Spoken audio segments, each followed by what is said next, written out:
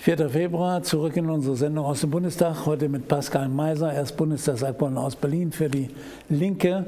Und wir sind bei dem Thema Mieten, das alle eigentlich beschäftigt in dieser Stadt. Und die Frage ist, wenn das Volksbegehren durchkommt, Artikel 15 Grundgesetz, Enteignung der Wohnungsbaugesellschaft, gegen Entschädigung steht ausdrücklich drin im Grundgesetz. Das kostet doch Milliarden.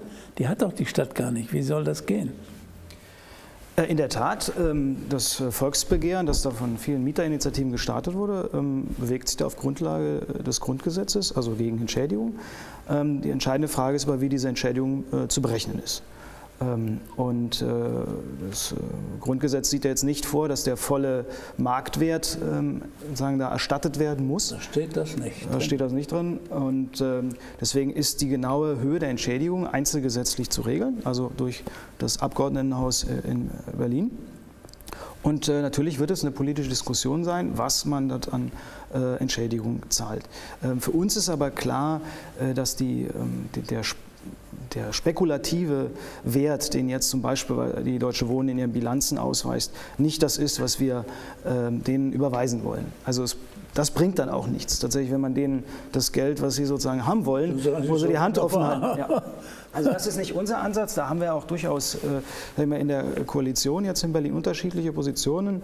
Herr Müller hat ja erfreulicherweise auch äh, sich öffentlich geäußert jetzt unter dem Druck dieser äh, Initiative von unten und hat gesagt, äh, er will auch, dass die Deutsche Wohnen einen Teil ihrer Bestände verkauft an die öffentliche Hand. Äh, aber das wäre dann natürlich zum, zum Marktwert. Also, und das ist was, wo wir sagen, dass, da wird es hinten und vorne nicht reichen. Wir wollen tatsächlich, dass es unterhalb des Marktwertes ist. Da müssen wir über eine Wertbestimmung Abstimmung äh, sprechen, ähm, aber sie wird deutlich darunter liegen. Aber natürlich, ähm, ich will da gar nicht dran vorbeireden, reden wir da über Milliardenbeträge immer noch an dieser Stelle.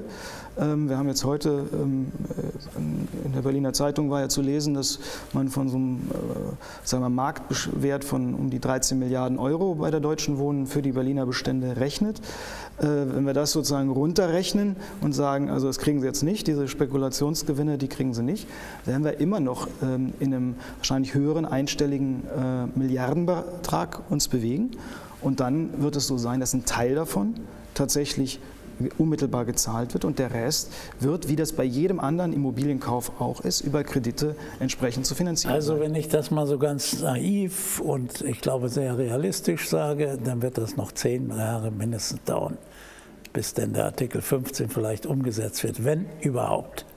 Denn ich kann mir ja nicht vorstellen, dass die Wohnungsbauunternehmen sagen, jawohl, wir verzichten auf unseren Marktwert. Wie kommt er dazu zu sagen, ihr kriegt nur ein Drittel?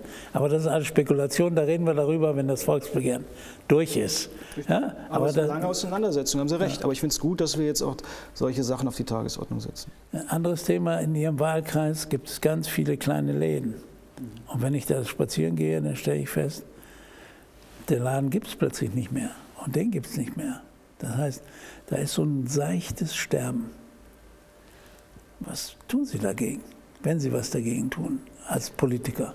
In der Tat, also die Situation der kleinen Gewerbetreibenden ist eine Sache, die ist lange so im, im Schatten gewesen. Da hat kaum jemand drüber geredet. Ähm, und gerade bei, bei, mir in Kreuzberg, aber auch in Teilen von Friedrichshain ähm, erleben wir das. Ähm, Eigentümer äh, wollen von heute auf morgen die dreifache Gewerbemiete. Das kann ein kleiner Ladeninhaber nicht bezahlen. Äh, und das ist dramatisch. Woran liegt das? Liegt das am Gewerberecht, dass Gewerbemieten beliebig erhöht werden dürfen? In der Tat. Also wir haben gerade darüber gesprochen, bei den Wohnungsmieterinnen und Mietern äh, gibt es Regeln, die sind viel zu schwach und unzureichend. Die müssen wir schärfen, um die Mieterinnen und Mieter zu schützen. Bei den äh, kleinen Ladeninhabern, bei den Gewerbemieterinnen und Mietern gibt es überhaupt kein oder fast kein gesetzliches äh, Das wissen die wenigsten. Das wissen die wenigsten. Und das wissen dann auch die Gewerbemieter in dem Moment erst, wenn es sie trifft. Eigentlich, sie stehen völlig schutzlos. Es gibt keinerlei Regelung, zum Beispiel zu Mindestvertragslaufzeiten. Also wenn ein Eigentümer in einer starken Verhandlungsposition ist, sagt, du kriegst nur einen äh, Mietvertrag für zwei Jahre für deinen kleinen Laden und in zwei Jahren verhandeln wir die Miete wieder neu. Und du kannst, der kann im Grunde die Miete komplett dann neu festlegen. Und wenn da jemand findet, der. Das ist doch Uraltkapitalismus. Das ist, das ist das große Kapital gegen die kleinen äh, Gewerbetreibenden, gegen die kleinen Unternehmer. Das ist ein Konflikt. Das ist ja nicht so, dass. Und da muss man dann auch äh, Position beziehen. Das ist ja das Absurde. Wir haben ja Parteien wie die CDU, die mal gesagt, wir stehen an der Seite der, der kleinen äh, Unternehmer. Und in dieser Frage, wo es um das große Immobilienkapital gegen die kleinen Unternehmer geht, nehmen Sie Position für das große Immobilienkapital. Ich kann mich aber nicht erinnern, dass ich irgendwas in den letzten zwei Jahren gelesen habe oder auch davor, dass die Große Koalition bereit ist, die, das Gewerberecht, das Gewerbemietrecht entsprechend zu novellieren. Warum Sie, nicht? Da haben Sie völlig recht. Ähm, ich sagte, dieses ganze Thema spielt bisher ein noch größeres äh, ähm, Schattendasein. Ähm, und äh, wir haben jetzt angefangen, gleich zu Beginn der Legislatur, weil bei mir im Wahlkreis das Problem so dramatisch ist, es auf die Tagesordnung zu setzen. Ich hatte gleich zu Beginn ähm, den wissenschaftlichen Dienst äh, des Deutschen Bundestags, was eine unabhängige Unterstützung für uns Abgeordnete ist, beauftragt, mein Gutachten äh, zu erstellen, ob es überhaupt möglich ist, auf Bundesebene ähm, gesetzliche Rahmenbedingungen zu schaffen. Und, äh, ist Gewerberecht äh, Kommunalrecht oder Landesrecht? Das ist Bundesrecht. Bundes ja, das ist genau wie das Mietrecht im bürgerlichen Gesetzbuch geregelt ähm, und äh, eben so gut wie bisher nicht geregelt, aber es könnte dort äh, viel besser geregelt werden. Und die sagen, es kann geregelt werden. Da muss man bestimmte Bedingungen beachten, wie immer, ähm, dass es auch äh, jetzt nicht überzogen ist und so weiter, der Eigentümer des Hauses.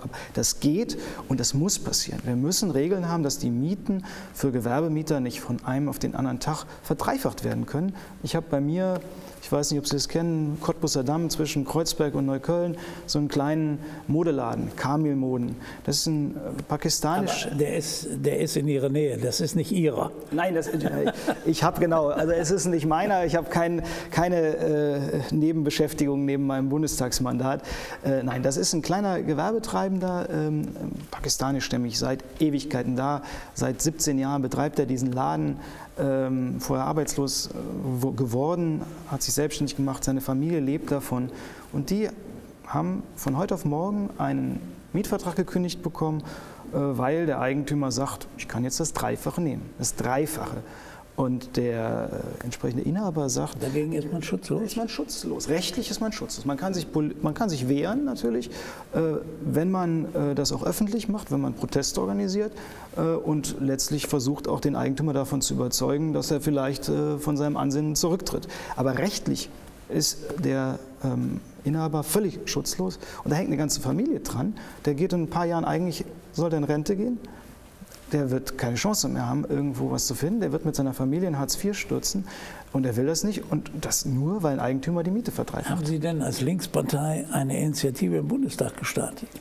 Wir haben Kleine Anfrage oder wie macht man sowas? Wir, haben, wir sind in der Opposition im Bundestag, wir haben verschiedene egal, Instrumente. Haben ja gleiche Rechte wie die, die in der Regierung sind. Ich sagte, das erste, was wir gemacht haben, war so ein Gutachten überhaupt mal aufsetzen lassen, weil alle immer gesagt haben, da kann man nichts machen. Also, ja, und jetzt sieht man, man kann was machen, äh, ist eine Frage des politischen Willens. Äh, und wir thematisieren das immer wieder. Äh, und wir werden auch dazu ähm, einen konkreten äh, Vorschlag jetzt unterbreiten. Ähm, wir haben parallel dazu, hier aus Berlin, wo wir eine ähm, rot-rot-grüne Landesregierung haben, eine erste Bundesratsinitiative, die vom Bundesrat auch beschlossen wurde. Ähm, mit äh, der dann die Bundesregierung aufgefordert wird, äh, dazu einen Gesetzesentwurf und Vorschläge äh, vorzulegen. Ich habe vor kurzem nachgefragt, aber der Beschluss stammt, des Bundesrats stammt aus dem Herbst. Ich habe bei der Bundesregierung nachgefragt. Die, Bundes, die Bundesländer, die, in, in, Prüfung. Also wir wollen es nicht übertreiben. In Arbeit ist da noch gar nichts. Äh, in Prüfung. Ich bin sehr gespannt, was die Bundesregierung sagt, weil klar ist, letztlich wird es nur gehen, wenn es Teile der Großen Koalition auch irgendwie als Thema äh, aufgreifen und aktiv werden. Und da werden wir die weiter drängen äh, in der Legislatur. Das bin ich den Leuten bei mir im Wahlkreis in jedem Fall schuldig. Na, bis zur nächsten Legislatur würde ich ja nicht mehr warten. Die beginnt ja erst in drei Jahren. Also gibt es denn da nicht nicht so eine größere Koalition, auch im Bundesrat, die sagen, das Gewerbemietrecht müssen wir wirklich ändern. Weil da sind ja wie bei den Mieten auch eine Unzahl von Menschen betroffen. Und wenn das so wirklich rechtlos ist, dann halte ich das ja für skandalös. Ja, also der Bundesrat hat ähm, die entsprechende Initiative aus Berlin ja auch beschlossen. Also im Bundesrat aus den Bundesländern scheint es da äh, ein Problembewusstsein zu geben. Da gibt es sicherlich auch unterschiedliche Vorstellungen, wie man das Problem löst. Ähm, bei der Bundesregierung ist dieses Problem bis dato nicht angekommen gewesen. Ähm, aber wir werden in dieser Legislaturperiode, also jetzt in den verbleibenden äh, zwei, zweieinhalb Jahren, werden wir auf jeden Fall da richtig Druck machen. Äh, das äh, kann ich versprechen. Im Herbst sitzen wir wieder hier und dann werde ich abfragen, was Sie gemacht haben, ob das auf den Weg gekommen ist. Was bedrückt Sie sonst noch diese Woche und in den nächsten Wochen? Ganz aktuell aus Ihrem Wahlkreis? Was bedrückt die Wählerinnen und Wähler? Was wollen die von Ich will Ihnen gar nicht nur über den Wahlkreis reden, weil natürlich als Berliner hat man immer so einen Blick in ganz Berlin. Ähm, ich war letzte Woche Freitag, äh, und das werde ich auch in den nächsten Tagen nochmal äh, weiterverfolgen, bei Infinera. Das ist äh, in Spandau. Das ist so ein Hightech-IT-Telekommunikationshersteller. Die sollen äh, innerhalb kürzester Zeit von ihrem neuen Erwerber jetzt dicht gemacht werden. Da sind 400 Arbeitsplätze, die auf dem Wer ist der Spiel neue stehen. Erwerber? Infinera ist Ja, wer ist der neue Erwerber? Infinera ist der neue, vorher hieß es Coriant, äh, Coriant-Gruppe. Äh, das war mal äh, Nokia Siemens Networks. Also es hat eine lange ähm, Berliner Vorgeschichte. 400 Beschäftigte. 400 Beschäftigte ungefähr, natürlich mit den Familien, die da dranhängen. Ähm, Es wurde da übernommen äh, Ende letzten Jahres und zu Beginn des neuen Jahres hat der neue Erwerber zu völligen Überraschungen der Belegschaft angekündigt, der Standort soll im September dicht gemacht werden.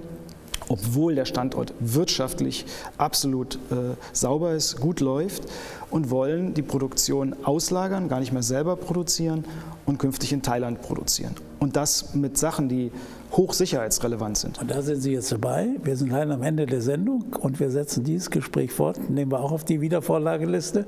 Wenn Sie das nächste Mal hier sind, werden wir danach fragen, was ist geworden, was nicht, was passiert. Aber da zeigt sich wieder, dass viele Dinge in dieser Stadt geschehen, die eigentlich nicht geschehen sollten. Ich komme gerne wieder. Und deswegen sitzen wir hier. Vielen Dank, dass Sie heute da waren. Pascal Meiser, Bundestagsabgeordneter der Linken. Und ich bedanke mich bei Ihnen, dass Sie zugeschaut haben. Wenn Sie die Sendung nochmal sehen wollen, auf YouTube, YouTube, TV Berlin, Bundestag. Vielen Dank und bis nächste Woche Montag, wie immer, 20.15 Uhr. Bis dahin, danke und tschüss.